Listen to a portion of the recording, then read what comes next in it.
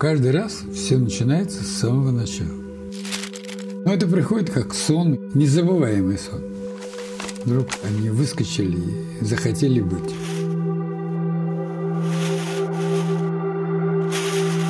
Я даже зарисовывал это, как совершенно готовый существующий объект.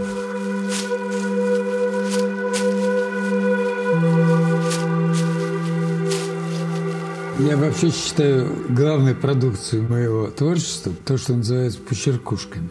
То, что приходит в голову и должно быть мгновенно зафиксировано без малейших размышлений об эстетике или о технике или о чем бы то ни было. Раньше я пытался серьезно подходить к работе и потом искать варианты, там, строить путь. И Потом, с удивлением, заметил, что возвращаешься именно к этой первой почеркушке. Вот сейчас они приобрели некоторую форму собрания, и их 7 тысяч насчитывается.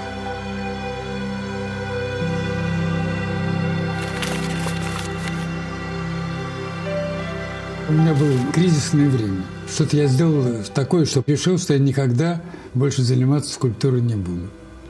И тут я и начал ей заниматься.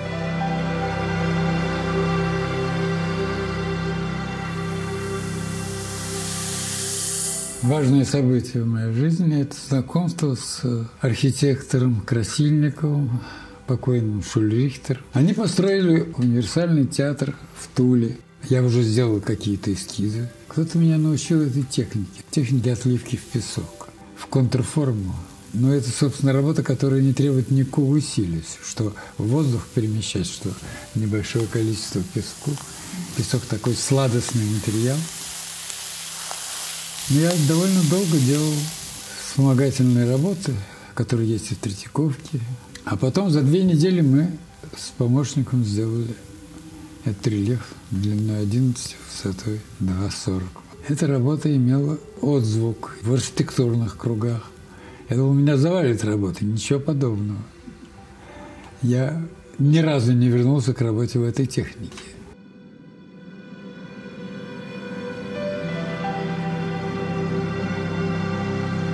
Меня никуда ни к чему не приписывали. Как и сейчас. Мне совершенно не нужно.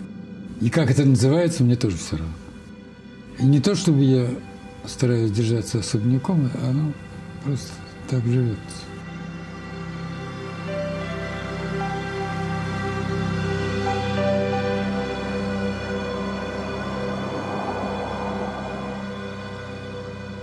После выставки нашей 70-го года, выставки 13, начали брать работу.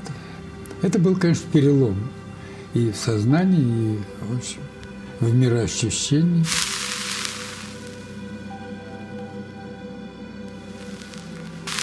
Мне очень нравится Игорь Шелковский, Лена Мунц, Соков, Косолап. Из европейских мне очень близок Лючо Фонтан.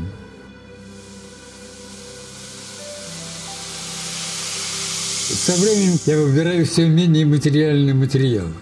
И даже делал выставку, которая называлась «Не вещь». Это была выставка, собственно, теней.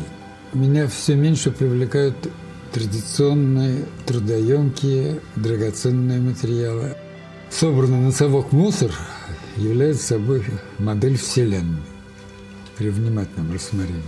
Надо только уметь это экспонировать.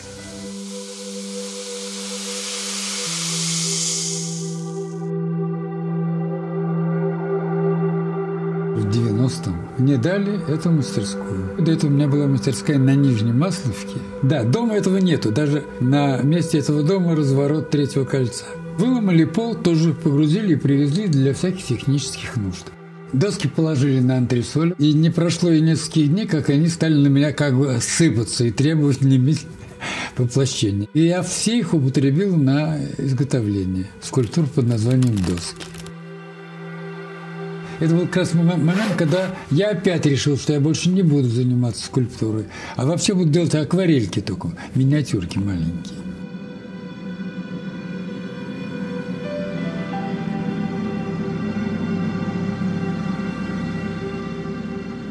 Это же условно называется живописью. Я очень люблю что-нибудь пачкать, да. Я из своего окна на шестом этаже рисую деревья, которые напротив. Сейчас видна эта тончайшая конструкция, ну, потока этих необходимостей. Невероятно интересно.